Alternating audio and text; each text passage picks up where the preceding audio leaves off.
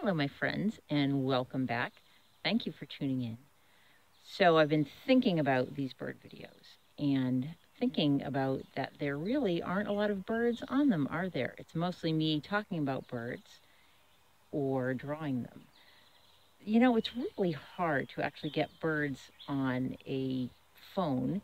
You know, you have to follow them around or sit around for a long time in the morning waiting for them to not be scared of you uh, so you can get up close to them. And I just don't have that kind of time, you know, because I'm a mom and I have to do, you know, mom stuff. So there haven't really been many birds on these videos, have there? So this one, Dave and I thought we'd try something a little different. And we're going to go out on the road and see if we can find some birds. Okay, come along with us. So out on the road today, we came to Waltham. I always like to visit Waltham because it's where I'm from thought we'd do a little urban birding. So here we are on street, right on the Charles River. And because we're on the river, we got us some Canada geese and some ducks. On the swan out there. A uh, house sparrow up there, look, it's clinging to the side of the parking garage. Probably eating bugs. I know you probably can't really see, but isn't that neat? You'll always find house sparrows you know, living on the parking garage. So on our little walk by the Charles, we have a pair of mallards just sitting and enjoying the sun. And you see, uh, we got house sparrow and, oh, a starling. Hello, starling. Here along this path near the Charles River Museum of Industry, we see a very handsome grackle. See, you see those nice blue iridescent feathers on his head. Oh, very handsome. The grackles we have here, this is the common grackle. Other parts of the country, they have much bigger grackles with, with much flashier tails, but common grackle is pretty good too. Very handsome. Got some mourning doves, and then a little further on the path, got some robins, a giant squirrel. Up there we have some starlings. See that? A big fat squirrel. Oh my goodness. I did just see a phoebe. I was really hoping you could too because I really like these canals. We're in Lowell and there's a lot of canals in Lowell. And I was hoping a bird would fly by, but you get to see the canal anyway. Here are all the house sparrows. There's lots. Hear them? That is one ratty looking squirrel. We got some beautiful mallard ducks and look how purple his head is. That's a sort of odd. usually coming.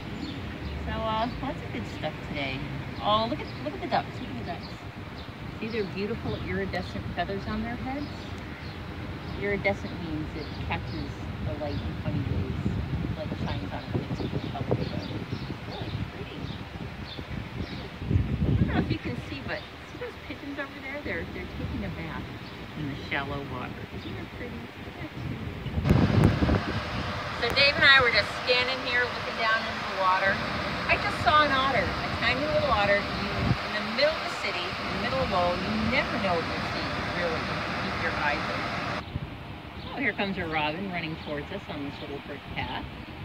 Good morning, Robin. Actually, afternoon, afternoon, Robin. Oh, it's got a bug It's got something. So, uh, more cedar waxwings up in this tree. This is such a surprise. It's so fun. Sound is so distinctive. Once you know them, you'll hear them. But oh, look, look, look, the little woodpecker, Dave. Look, look. You see it? I just went around.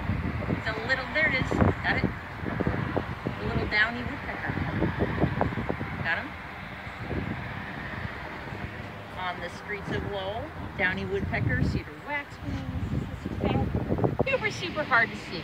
But around that big smokestack, see those little tiny birds flying? Those chimney swifts.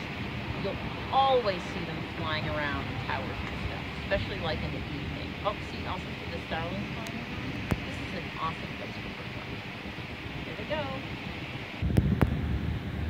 So, see that tiny little island with the pipe sticking out of it. There's a cormorant on that island. Sort of watching the cormorant kind of swimming downstream, but hello. Grackle over there on that uh, kind of branch overhanging the water. Grackles like to be at the water's edge. This was a good one. Of course away. But it's a good place for grackles. Okay. Some more ducks just hanging out. And look at that grackle. It wants to get down and get a drink. It's just a little too high up. So now we're in the city of Northampton and we're helping a friend move today, but I'm noticing there's lots of house sparrows chirping all around her apartment building.